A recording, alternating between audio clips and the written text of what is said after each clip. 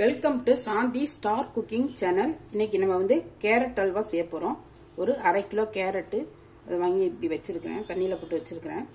ஒரு ஒரு கப் அளவுக்கு பால். ஒரு நூறு கிராம் சர்க்கரை. ஒரு அஞ்சாறு ஏலக்காய். ரெண்டு ஸ்பூன் நெய். நட்ஸு ஒரு ரெண்டு ஸ்பூன். இதான் இதுக்கு தேவையான பொருட்கள். இப்போ எப்படி செய்யலாங்கிறத பார்க்கலாம். வாங்க. கேரட்டில் நிறைய விட்டமின் சி இருக்குது அதனால் எப் இதமாரி சமைச்சு கொடுத்தீங்கன்னா பசங்களாம் நல்லா சாப்பிடுவாங்க. அல்வா செய்கிறப்ப ரொம்ப நல்லா இருக்கும். வாங்க இது எப்படி செய்யலான்னு பார்க்கலாம். கேரட்டை இப்போ தோல் சிவி எடுத்துக்கணும்.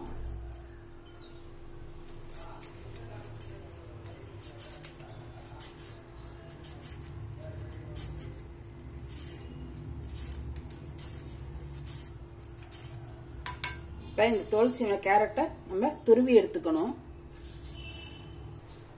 இப்போ கேரட்டை வந்து நம்ம தோல் சீவி ஏற்றேன் இப்போ வந்து இதில் வந்து நல்லா துருவி எடுத்துக்கணும் எல்லா கேரட்டையும்.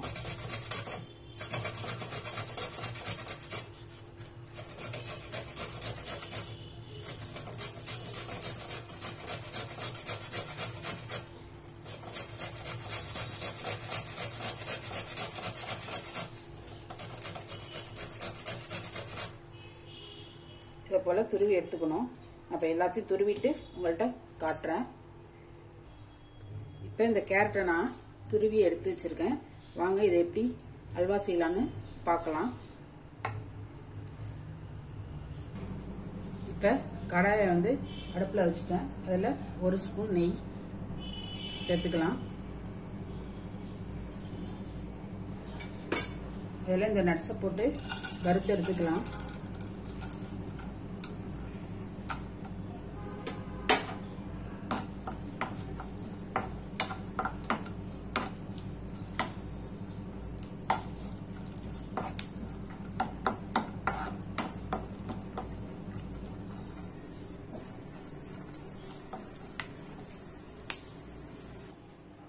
இப்போ அந்த நெய்யில் வந்து கேரட்டை போட்டு நல்லா வதக்கி எடுத்துக்கணும். வதக்கிக்கணும்.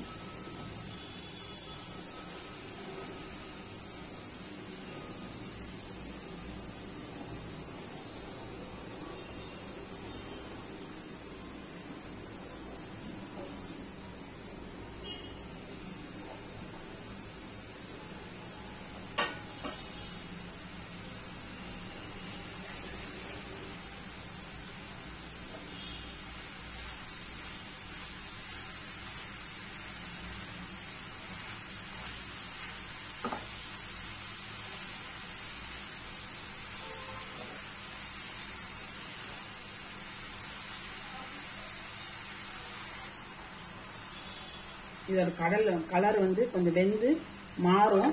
மாறினதுக்கு அப்புறம் தான் இதில் பால் சேர்க்கணும். இது வரலையும் இதை நல்லா வேக விடணும்.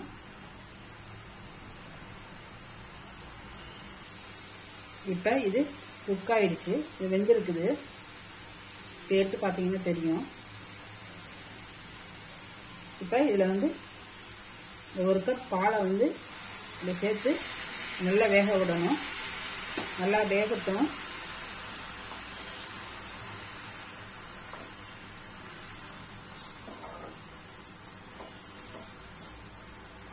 இது பால்லே நல்லா வேகணும்.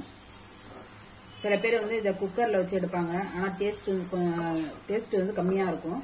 குக்கரில் இல்லாமல் ஸ்ட்ரைட்டாக இப்போ நம்ம எண்ணெய் சட்டியில் செஞ்சீங்கன்னா ரொம்ப நல்லா டேஸ்ட்டாக நல்லா இருக்கும்.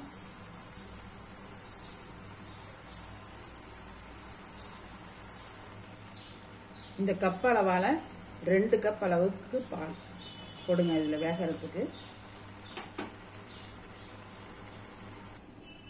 இதில் இப்போ பாருங்க பாருங்கள் நல்லா குக் ஆயிடுச்சு. இந்த பால்லே நல்லா குக் ஆயிடுச்சு.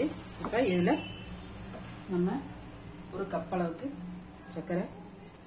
கிட்டத்தட்ட ஒரு ஒரு இரநூறு கிராம் இருக்கும். சர்க்கரை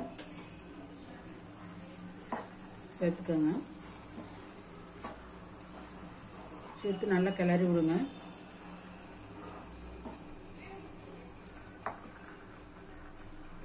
இதில் ஏலக்காய் நான் பொடி பண்ணி வச்சுருக்கேன். அதையும் இதில் சேர்த்துட்றேன்.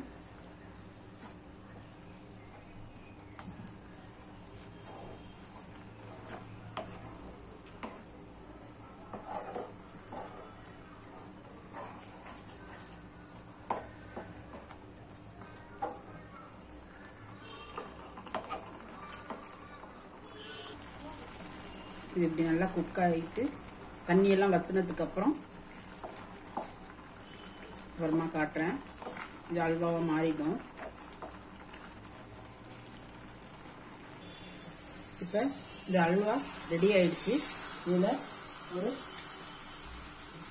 ஒரு ஸ்பூன் அளவுக்கு நெய் சேர்த்துக்கலாம் ரொம்ப நெய் சேர்க்க வேணாம். இது ரொம்ப ரொம்ப நெய் தேவைப்படாது. ஒரு ஸ்பூன் சேர்த்தா போதும். இதோட நட்ஸ் எல்லாத்தையும் இதில் போட்டுடலாம் சேர்த்துடலாம்.